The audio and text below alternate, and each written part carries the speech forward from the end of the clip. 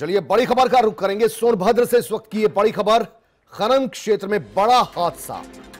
खनन में करते हुए दरअसल क्षेत्र से पहाड़ी खिसकी कई मजदूरों के दबे होने की आशंका।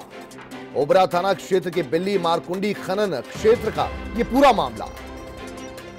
तो फ़िलहाल इस पहाड़ी पर खनन की कार्रवाई चल रही थी और अचानक से जो पहाड़ी खिसकी है, उसके तले कई मजदूर दब गए हैं। बड़ी खबर इस वक्त की, ये आती हुई। हालाँकि रेस्क्यू अभियान छेड़ दिया गया है, नहीं छेड़ा गया है। यह भी पुख्ता नहीं हो पाई है, लेकिन बचाने की कोशिशें जारी है। मजदूरों को कई मजदूर इस पहाड़ी के नीचे दबे हो सकते हैं। ओबरा थाना क्षेत्र के बिल्ली मारकुंडी खनन क्षेत्र का यह पूरा मामला है। तो बड़ा हादसा ये सामने आया है। लोगों को बचाने की कोशिशें जारी हैं। तस्वीरें आपके सामने। यहीं पर खनन का काम चल रहा था। सोनभद्र जो अभी हाल ही में फिर से सुर्खियों में आया था।